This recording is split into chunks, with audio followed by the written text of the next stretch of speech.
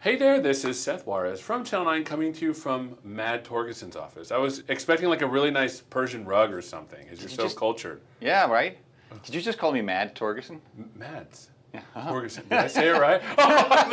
Look at him. He's such a. You know, one of the things I love doing is I like catching up with you because the language C sharp is a language that I've been using almost my entire career. Right when C sharp came out, I switched from VB even before C sharp was done, and so I've been following it my almost my entire career. And I, I love checking in with you to see how things are going.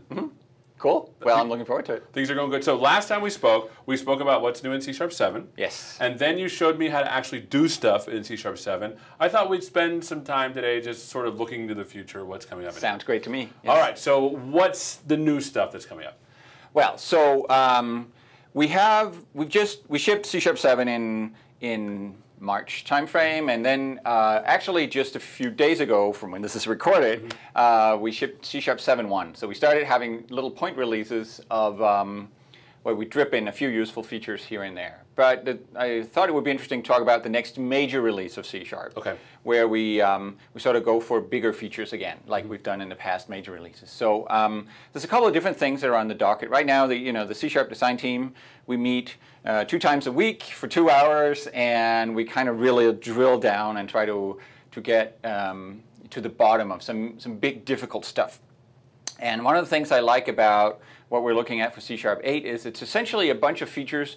I don't know if they have much in common if you look at them as features, but what they have in common is that they are addressing things that we have been trying to tackle or giving up on tackling for many, many releases. I see. And I, I'm still hopeful that we will actually get to uh, deal with most of them in this. So to be clear, for those that are watching, this is still in the planning stages. It's not going to come out next week or anything. That's absolutely true. Yes, we, uh, some of the uh, some of the um, features that will hopefully make it into C Sharp 8 are, are actually in active development right now. Okay. So we have prototypes. So we've showed a few prototypes, very preliminary prototypes, even uh, in public at conferences. But some of them are just on the drawing board, and even the ones that we have prototypes for are like very rough.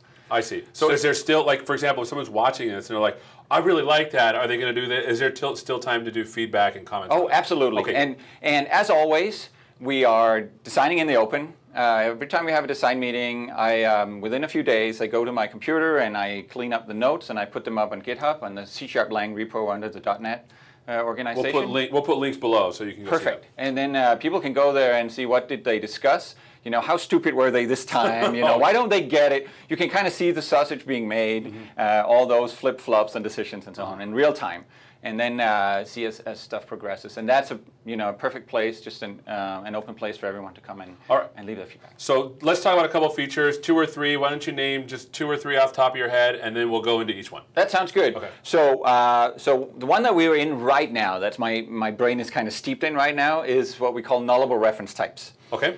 um, which is about trying to uh, help you prevent null reference exceptions, Okay. the most popular exception in the world.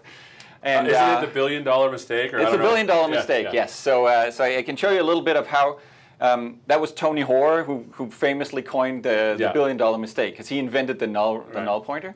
And the way we kind of put it is we're going to give Tony half of his billion dollars back uh, because we are not entirely solving the problem, but we're helping you uh, do a lot about it. So Um, null reference. null references. second. uh, async streams. Okay. another thing I'll talk about. Sort of the next level of, you know, async was about eliminating callback hell for a lot of scenarios Sure. because whenever you code with callbacks, whatever people say, you're going to have way too many bugs and um, inefficient code and uh, random things happening. Mm-hmm. Very hard to debug. And so async kind of eliminated that for a lot of scenarios, but where we didn't eliminate it is where you have like streams of asynchronous stuff going on, like uh, streams of events or data that beams at you in Is, chunks. is that or like whatever. reactive type stuff? It is very related to uh, the scenarios that people use reactive for a lot. But re- reactive is again sort of it's rooted in callbacks, and we'll do something better. Cool. So next one. So we, we talked about nulls. We talked react uh, uh, streams, async streams, and what else? Right, and so uh, another one that we also have a prototype of is uh, default implementations and interfaces. Okay. So that's more like a, s- it's a it's a smaller feature, but what's interesting about it is that it's the first time in a long time that we're building a language feature that requires changes to the runtime. Oh. And so we kind of got together with the runtime team. We're like, let's do a feature together, and let's like we haven't done that since generics. Right. Let's like roll out something together, um, and we'll that see how that C sharp two, right? Yeah, that's like a decade ago. Wow. So, uh, So it's interesting to warm up those muscles and maybe sort of a we, we it's a nice feature in of itself. We also use it as sort of a spearhead for uh, how can we get into that game again of actually evolving the runtime and the language together rather than just doing compiler tricks on top of the existing runtime. All right, so we have we have uh, nulls, we have async streams, we have interface defaults. Is that what you call them? Yeah, default implementations and Uh, interfaces. and- and we need a shorter name for it. Anything else? Uh, there's one more we can talk about if we get to it, Okay. which is sort of extension everything. Like Okay.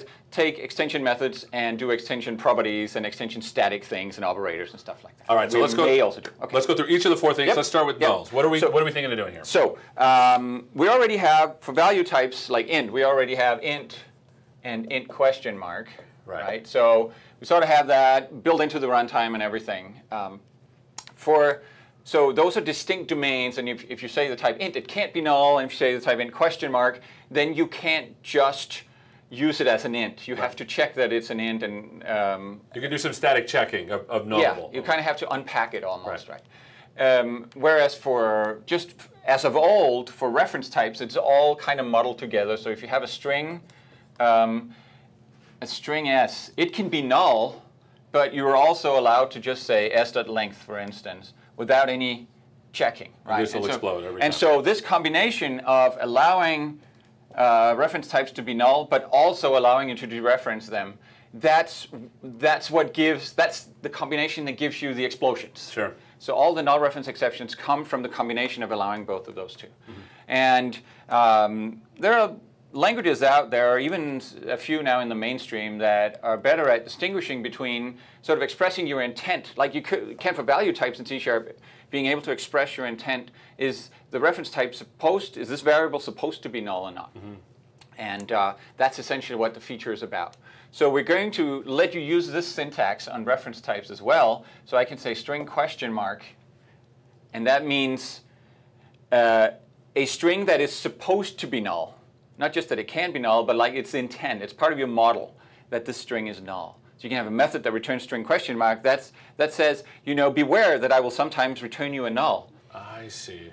Then um, on the other end of things, when you have one of these guys, a nullable reference, the compiler will then uh, be vigilant for you and prevent you from just uh, sort of indiscriminately dereferencing it. I see. So if you have um, if you have this sort of uh, line of code, the compiler will come in and say, here, it'll, we'll, the feature will is is essentially adding a bunch of warnings to adding the syntax and then adding a bunch of warnings. So it will warn you that you're dereferencing um, something that might be null. And then, of course, there, there are various things you can do about it. One of the things you can do about it is to, is to check for null first. You can say if s not equal to null, or you could Elvis operator, right? yeah, so there are many things you can do. But if you start with this one, um, then the, the compiler will actually do a flow analysis. Like it, it, the compiler does flow analysis today for definite assignment. Uh-huh. And we'll plug into that analysis, and it'll actually track the value of variables, it, not the value itself, but whether it's null or not. So if you did a check to see that it wasn't null, then it knows that inside of the scope of this if, s is not going to be null, and it will remove the warning. Right. That's kind of that's kind of like the stuff that Anders was doing in TypeScript. Is It that is right? very related to what Anders is doing in TypeScript, and that is not accidental. Like I've talked to Anders a lot about this feature. I see. And um, and a lot of their experience rolling it out is uh, is part of what we do. So um, so that's sort of the core of the feature. Um, the the combination of expressing your intent um, to be null and then tracking.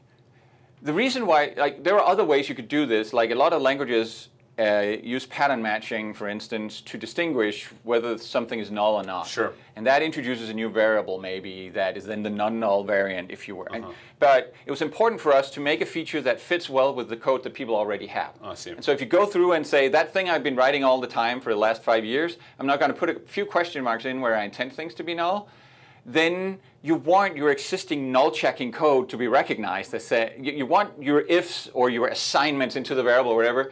You want all that to count and make the compiler shut up, right? You don't want to have to use a new way of checking for null. We already have like seven different ways of checking for null.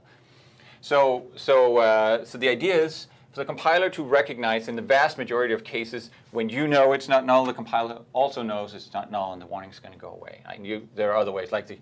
Um, Sorry, I, my the pedantry came out here. I had to remove the end curly Oh, brace. my thank you. compiler wasn't working. thank you. Yeah, there was a red squiggle in your Yeah. brain there. Yeah, we don't have a red marker Yeah, today. I wish so, we uh, did. yeah. So here's a question because this is awesome. Mm-hmm. But what I'm thinking about is if, if I'm going, like, say I already have a ton of code. Mm-hmm. And I don't have this question mark in there, and there is the possibility of this being null. Is this something I have to opt into when I'm in the compiler? Or is it just going to give me a lot of error? I'm trying to understand. Yeah, so so the part I didn't tell you about yet is sort of the so what if I don't put a question mark, right?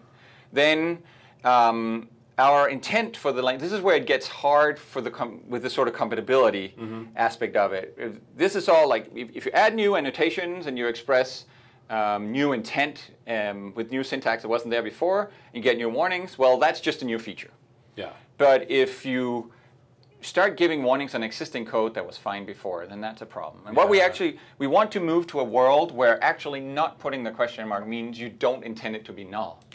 Th- that's the question, right? Because and that exactly. and, with- and that's not exactly what's happening in current code bases. Right. So that's fine today, but we are going to. That was my uh, Yeah. my internal Yeah, compiler uh, triggering there. We are going to now offer you a warning on assigning null or putting null into things that do not say that they want to have null in. Oh, And I, I see this. that part. part, cool. that part is like a breaking change, right? It's, you get a warnings. It's only a warning, but still, a lot of people have warnings there. Or. So that is sort of like, and that's sort of the whole point of the feature is to warn about, is to make you find existing bugs and make them go away, right? And the only way to find existing bugs is to actually give you some feedback on existing code. It's in, in the shape of warnings, right? So by its very definition, this feature is going to Help you. it's going to help you by but by breaking existing code. Now here's the thing. I saw that uh, Anders explained this exact same thing. Mm-hmm. I think it was last year, and he said he turned this on and he found errors in his own compiler Yes. code for TypeScript. Yes. That he's like, oh, I would have never seen that. And so you're saying this is the kind of behavior that's going to Yes. happen in C sharp. But you have you're absolutely right. There has to be an opt-in. There has to be a place where you turn this on, because um, existing code will get new warnings. And, it, and the good thing is most of those warnings are probably bugs in your code. Like Sure. a, a big part of our design is to try to make sure that most of the warnings you get are actually legit. Um, but you might not want to deal with that right now. And we're you, Right. you might have tested your code, you might know better, or you might be shipping tomorrow and you don't have time to deal with your bugs. Right. or, or- or oversights is what we call them in my Oh, oh, that's okay. oversights. That's a nice one. So what you're saying then is if let's just say for example this string s I did intend to be sometimes null Yeah. to make the warning go away you just put the question mark. Uh, yes, then you put the question mark. But that might lead to warnings in other places because you might now be using it um, in a way that's dangerous when you have null around. Which is right? so you're still pushing, good. pushing the warnings around until you fixed all your bugs, and then all the warnings are gone away. O- oversights. Your oversights. Yeah. Okay, if that's how you like it. So, so it, so the idea is that this feature is gonna out, the the outcome once you made all the warnings go away without turning the feature off. Uh-huh. The outcome is that your code has been strengthened, and is very explicitly dealing with all the places where things can be null. Um, that where you're dereferencing things that are supposed to sometimes be null without checking. And so so it's a it's a feature that comes with new challenges in terms of how do you roll that out and how do you turn it on and off and so on. But it's also I think very useful in that it directly improves the quality of your code. Awesome. So for this, then there is an opt-in question mark for you to indicate I do intend for this to be null sometimes. Mm-hmm. If you're moving from a code base that does not have this, it's an opt-in warning. And if it is a warning, then you should go and either question mark it and then see where else the warnings are, or you should explicitly say no, this should never be null. Let's Right. make sure that that's never null. Right. And we do anticipate that there's going to be a few places where where the developer knows that a thing is not null, but the compiler can't figure it out. I see. It may be, you know, maybe you called to some helper method that checked it for you. Like I say, if not um, as um, dot, you know, the, the terrible extension method is is null or empty Yeah. is null or empty, right? Um, so if I call that one, then I as a developer know that if it's not that, then S is not null after this call. Yeah. But the compiler can't know that this method guarantees that, unless like we do some extra special annotation magic on that method or whatnot. And so I just want to tell the compiler in this case, I know better. And the way you do that is what we lovingly, we have to rename this, lovingly call the dammit operator. so essentially, if you have something nullable that you know it's all right to dereference at this point, you can put the dammit operator and then and then go and uh, and get the length here. That's Uh, awesome. It's like I know better, uh, and uh, and the compiler says, "Okay, right. your funeral." It's- exactly. if you if you um, that's that's exactly right. If it was null after all, then you took responsibility by putting that bang right there. I see. And so it's kind of nicely symmetric to the uh, question dot, Yeah. right? It's like um, check for null or say I know it's not. Or, you know, uh, um, so I feel like this is a lot of responsibility for me. Telling the compiler, "Look, I know better." Yeah, but hey, that's that's essentially what you've been doing all your life, just without any syntax to to sort of express it. At least now you can search for it. Yeah. Um, and um, and you can sort of see it. that Whoever maintains your code can see where you made that decision. Right. It's in that sense, it's very much like an explicit cast, right? You put something in your code to take responsibility. I see. Okay, Um, makes sense. This is cool. So, so that's nullable reference types for you, and that like we the last month or so we've been like deeply, deeply enmeshed in that. Like I, I dream about this at night currently. So. Well, that's awesome. I, No, it's terrible. I can't sleep. all right. So the next thing then, so we talked about uh, a nullability. The next thing was async streams, if I remember right. Yes. So let's talk a little bit about async streams. Okay. So, um, so with just as a as a quick reminder, right? With async, um, the idea is that you have things that we call tasks in .NET. Other people call them promises or futures or whatever s- that are sort of a, a representation of a future result. And so an async method, um, async method might return task of int and it does something. Get let's just stay with the lengths here. Get I'm running out of your camera. Uh, no, you're good. You're still I'm good. Okay. Um, so let's not give it any parameters. That's right. um, so it will do something in here where it returns an int, uh, return x that you compute it somehow, and and then whoever uses that will say await. Okay, so that's nice. Um, it'll await the call. So it, you get the task back, and await is the magic in the language that um, we should call it get length async, but there's no room on the board. Sure, sure. Um, so you, you get the task back, and, and the, essentially what this lets you do is instead of instead of taking that task and signing up a callback to it with the rest of the code, um, you just when you await it and when it's finally ready, you just jump right back into your code, right where you are in the middle of, let's say, a for loop uh, that's inside of a try block that's inside of a finally Right. that's you know. So you kind of um, all the difficulty of turning your code inside out that, that callbacks give, uh, lead to, you, you, you essentially eliminated those. Right. That's the magic of await. But it only works for those single results. So imagine now that you have, which is you know increasingly common in, in cloud, mobile, connected uh, situations, you have streams of stuff, right? Either because you, you go and ask a database, give me all your data, and it can't, you know, it can't send it all in one time, but also increasingly things just are live streaming. Like you keep getting data from a sensor in, in IoT scenarios.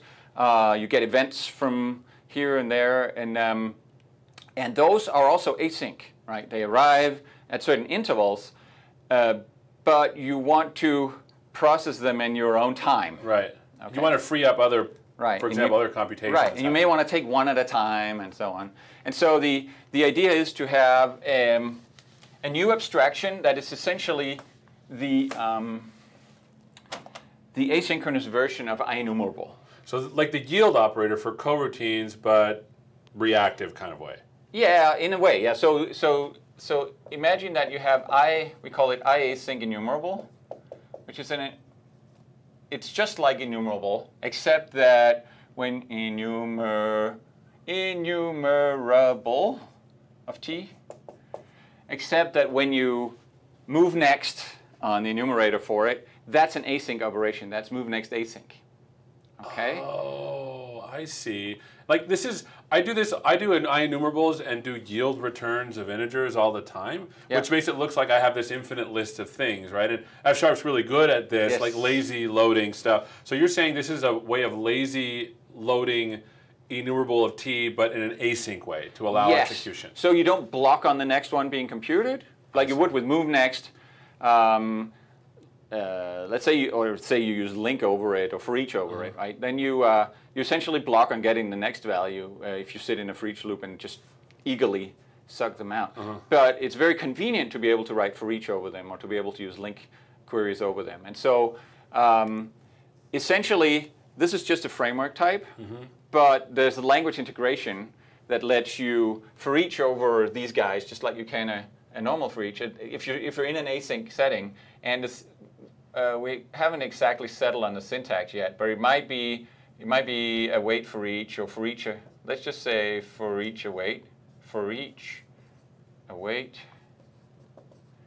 and then just normal for each loop, var of what? Let's say it's an async enumeral of of, of um, strings, Okay. right? var s uh, in um, Some object some stream yeah.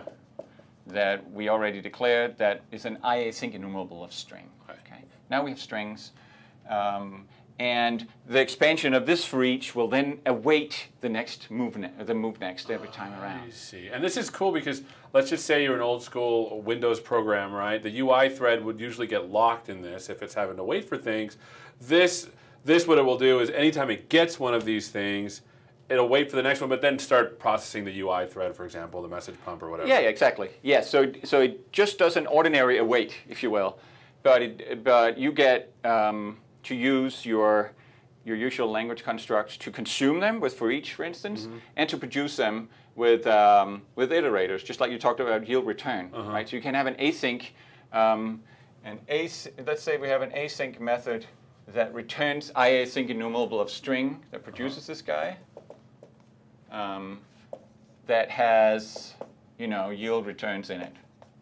So it'll have yield return this or that. We'll have to do yield. Okay, I see. And so, it, so it's sort of, and it's an async iterator. It combines async methods and iterator methods I so that you can await inside of it and you can yield return inside of it. And um, whenever you yield return, whoever's for reaching it then gets the next value and, and, and uh, their await will trigger. And, and so So many that are looking at this might say this looks similar to like something like an observable or reactive extension, Yes. but it feels a little bit different. Where's the differences? The Where's difference is this is fundamentally a pull model. You Okay. ask for things, you get them. Um, observables are fundamentally a push model. And uh, that means that whenever they have something, they will call the callbacks, right? Oh, okay. And so they decide, the producer decides the timing of it and, and the, the thread that it gets consumed on. Whereas this is a pull model, you can bridge the two.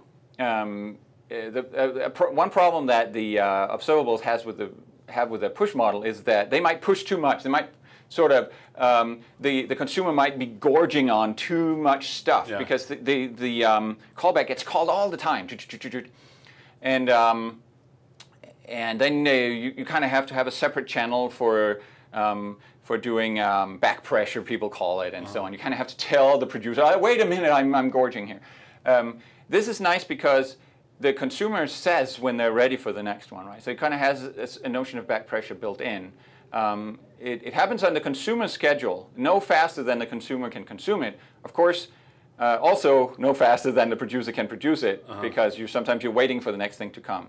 But it's sort of like um, when everybody's ready, the next thing can go. And that's interesting, right? Because this, there's this state machine in the background that might be finishing something up, and then it's like, okay, I'm ready for this. Oh, it looks like it's there. I can go to the next one. Yes. Instead of like getting DOS, DOSing yourself with with Right. observable things. Right. And now, um, of course, there's a lot of stuff that's using iObservable out there, and there's some elegant code that combines iObservables very naturally.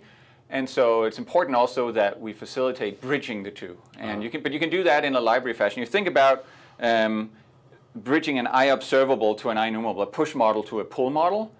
Um, you can you essentially have to decide what policy to do that by, and that's actually very natural to build into an API, um, a bridging API, where you say, you know, when I move next, when I take the next one, I just get whichever was the latest, and I'm happy to miss some of the events that came while I was busy processing the previous one. I see. Or I want to buffer them up to 100 or as much as it takes, or I want to uh, never get a buffered one and wait for the next one to come around. You can sort of say your policy about how you want to consume what Oh, so you're you're like bridging an observable to an IASync enumerable in order to make sure that Yes. there's some kind of caching. If you need to, uh, Yes. for example, if you have more than a thousand, it's like it's not really useful anymore. So start dumping Right. them. That's interesting. So it'll be an API where you have different, imagine calling different methods, maybe extension methods in IObservable that pr- all produce an, I, an, an IASync enumerable, but they do it in different ways.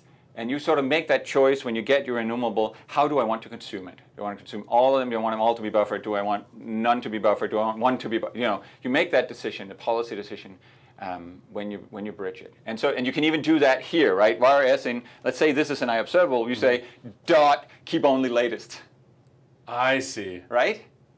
And then uh, things just sort of do the right thing based on that. And you have right there in the code, you have your policy decision about which elements you want to see and how, how you want to wait for them. And that's really interesting because some of the hardest code that I've ever had to write revolved around timing.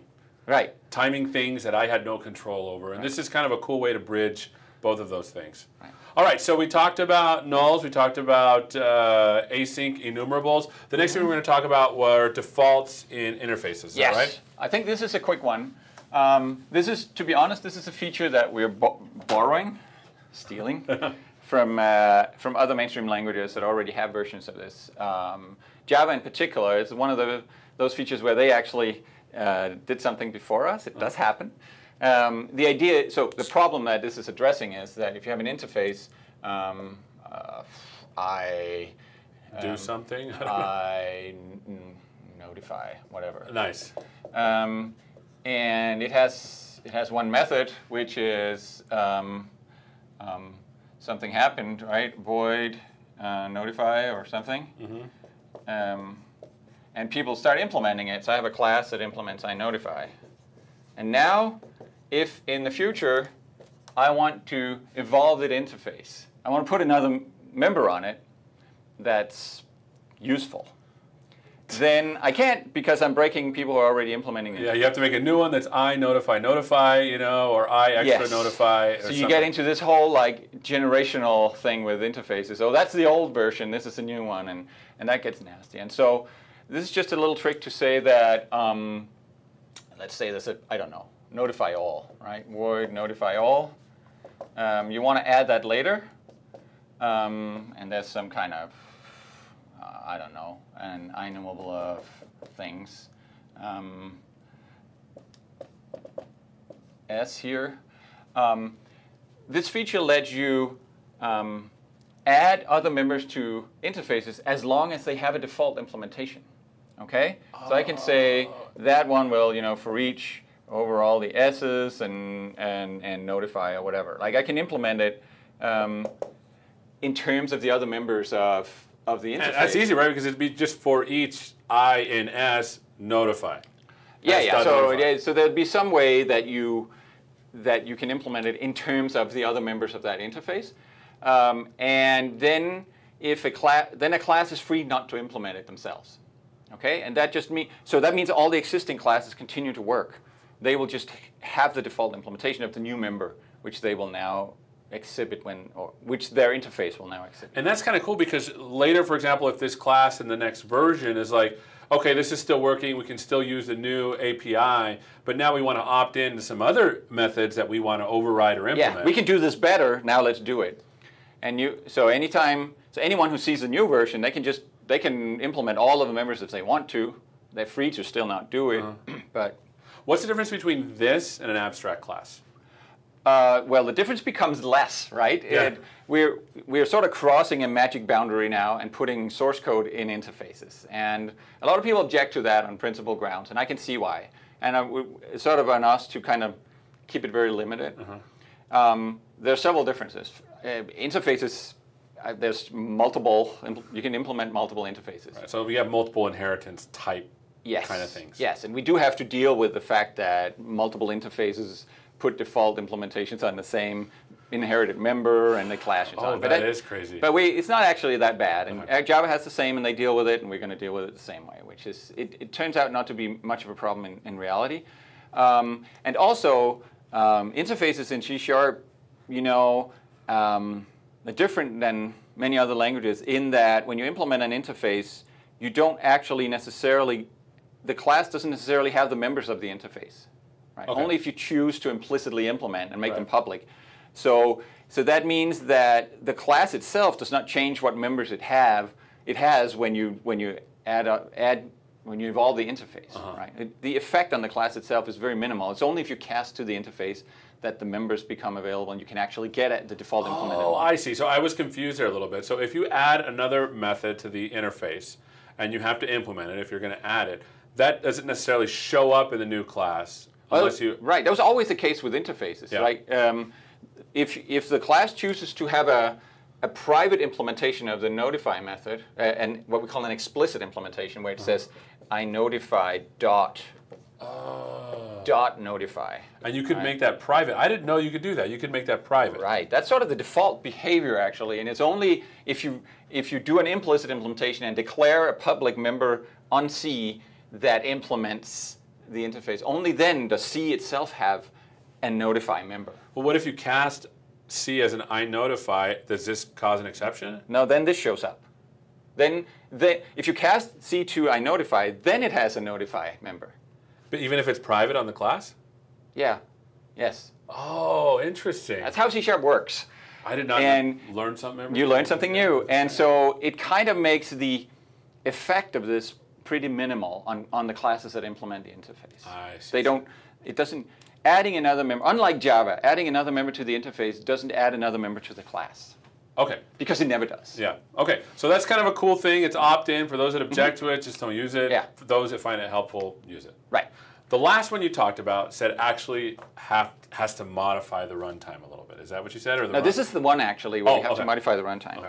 Um, because the, the mechanics of the, the mechanics of finding that uh, implementation and executing it in runtime um, can't all be implemented by the compiler, um, and the, the runtime has to has to do a little bit of work there.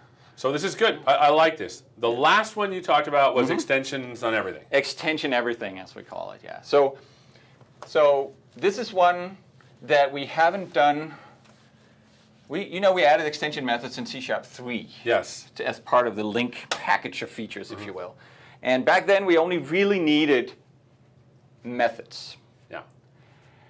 we sort of could have used an extension property as well. Uh, there's the uh, the famous count method as part as one of the LINQ methods. That is Yeah. a is a method, but maybe should have been a property. I see. Uh, but then again, maybe not because it can be very slow. But um, we said, okay, methods only. That's fine, and that kind of led us down a syntactic path where that only worked for methods, right? Because the way you declare um, an extension is you have a static class Uh huh.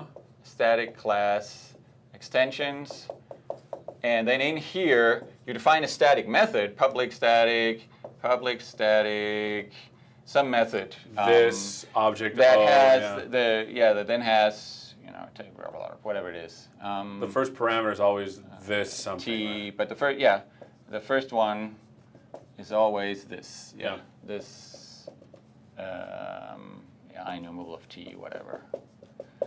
Um, so you can't really apply that. So that's just a static method with a special modifier. You can't really do that to a property. What's the first parameter of a property?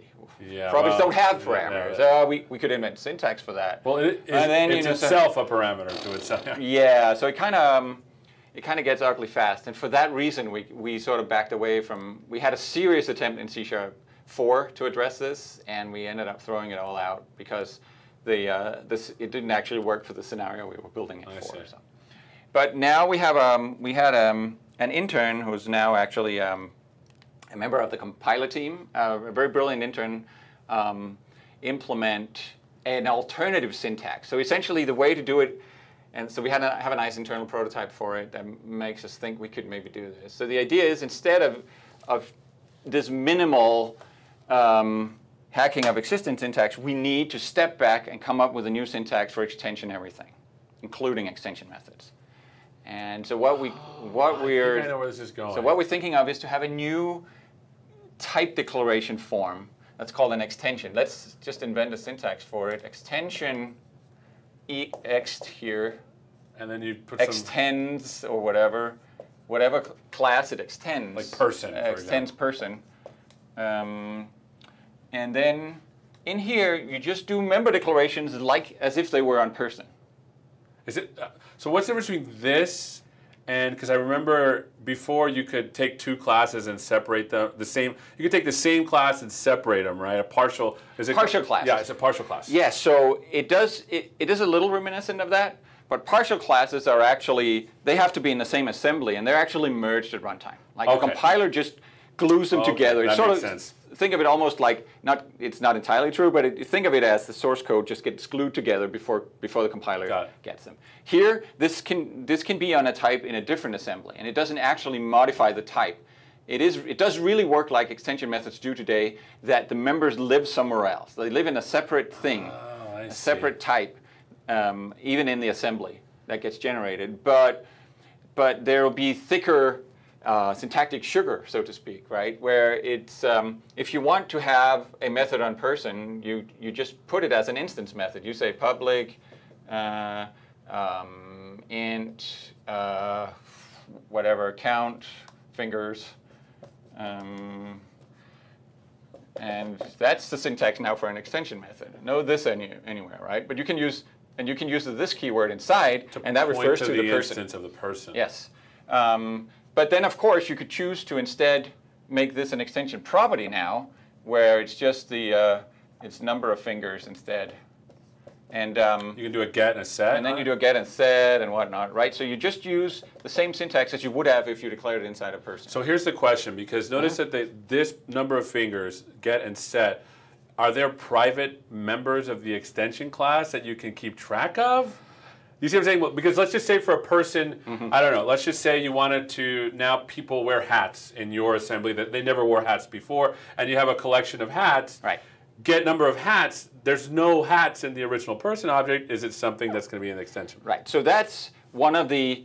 I think th- we are not going to solve that. Okay. Right. The the problem is adding state to the original object. We're not going to do that. So we're going to add things that do not rely on state that, that do not rely on adding new state. I Um, see. Because you get then you get into issues about how when is that state created? How do we keep track? We, you kind of need to have um, dictionaries floating around that, that sort of adds the. So if people want that, they can build it themselves, right? I can build a side table that keeps track of all the hats for all the people, and I can make a getter that looks up in that side table if I, I want see. to. But it's better that people do that themselves rather than the compiler does something too magical, something that looks like it's a cheap field access, but really it looks up in a hash table somewhere. That that doesn't seem like a good thing for the compiler to do. So we- Yeah. so if we do this feature, which there are many reasons why we might not, you know, we, we'll probably not add um, instance state. Actually, we, we're happy to add, um, um, to add static fields. So you could, you, you could say static int, um, but then that's like a, or you could put your dictionary in a static field inside of this because that we, we are generating a new type, and that type can hold the static members. And this is interesting because this is reminiscent of I, the, the terminology is escaping me, but in F sharp, for example, all very, like for example, one of the ways of maintaining state functionally is to make sure once you set something, it stays the same way. Mm-hmm. Are you just trying to stay away from managing statefulness in these classes? Yeah, I mean that would be that would be horrendous and not necessarily very efficient. It's something that people should choose to do themselves if they want Okay. to. But um, once you have this, so I'm, I just introduced a static member, and you can introduce other static members, and they now extend the person class in the sense that you can say person dot that new thing, or you can imagine it being an operator. You could say um, public static um, operator plus, right? Public static uh, person operator plus, blah blah blah. Um, and now, in scope of this thing, person now has a plus operator, or uh, that means marry or something. I don't know. Yeah, plus, I don't know. um, and uh, and um, all kinds of, and including um, maybe um, uh, constructors as well. right? Wow. So so it, it has a lot of flexibility there. So this is cool. So that is cool. Um, we'll see if we get to it. I, I kind of want to. And there's one way that this could go, but this is absolutely crazy, and I don't think that we will get to it in C Sharp 8. But one thing you can imagine in the long run is to actually um, let have sort of extension interface implementation. So you could sort of say, well, person doesn't implement um, employee or whatever in general. That's not, it, the class just doesn't do that. They didn't know about I employee when they wrote the class. Oh, but wow. I could maybe say that it does implement iEmployee.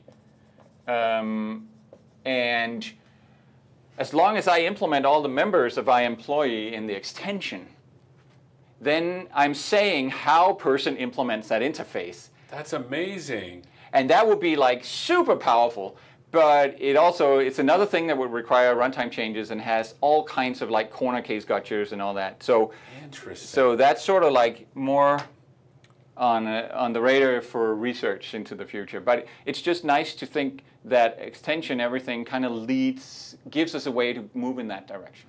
And the interesting thing is that this allows you, for example, type ownership is very powerful in an assembly because then you can do stuff with it. Mm-hmm. But if you're importing an assembly and you don't have type ownership, there's only you can only do with the things the right. things that they specified. This allows you to expand, for example. So let's say, for example, in my assembly, I use employees and they use people. This is a way for me to merge yes. functionality of two separate assemblies yes. by controlling the types. Yes, you can. You, you can essentially make an adapter um, mechanism through this. Well, this is cool. So we talked about four things. Mm-hmm. We talked about nullability. We talked about uh, async streams. Mm-hmm. We talked about uh, default implementations in interfaces, and then we talked about these extensions to in order to do. Uh, uh, what was it? What was it?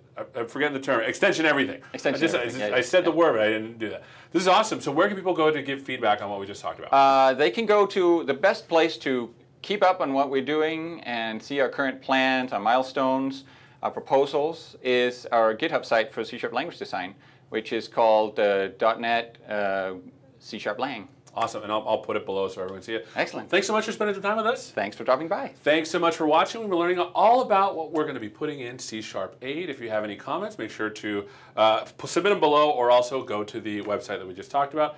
Thanks for watching. My name is Seth Juarez. This is Channel 9. We'll see you next time. Take care.